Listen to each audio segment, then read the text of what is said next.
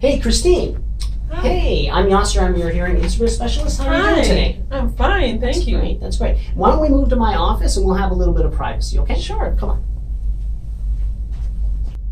Okay, Christine, why don't you tell me about why you uh, come in today? Uh, well, I was at a wedding a few months ago, and um, I find it a bit difficult when I was at a table. uh, I find a, a sudden hearing loss in my right ear, Mhm. and it's kind of for me to hear. And I'm only 20 years old. I shouldn't have any kind of difficulty hearing, and it's un- it's unusual for a person my age to be have an issue with hearing. That's definitely a concern. Mhm. Um, so, if I understand properly, you're saying that a couple of months ago you were at a wedding and you had a sudden loss of hearing in your right ear. Is that correct? That's correct. Yes. Okay. Well, since the wedding, have you had any medical follow-ups as it pertains to your ears? Oh yes, I did. Um, I seen my family doctor, and he prescribed me some drops, and I finished it and completed. But um, I didn't get a chance to follow up with my doctor because I was quite busy with school.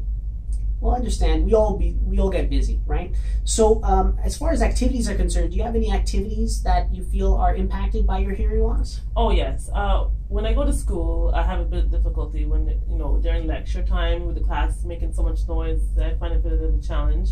As well as um, when I'm on the phone having a conversation, I normally hold the receiver in my right ear, and now I have to hold it in my left ear, which kind of feels awkward to me because I'm more right-handed. Hmm.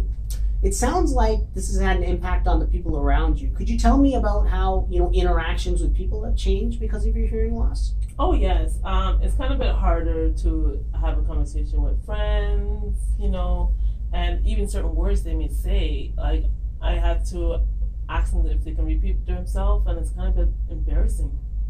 Mm, Well, thank you for the information. I really appreciate that.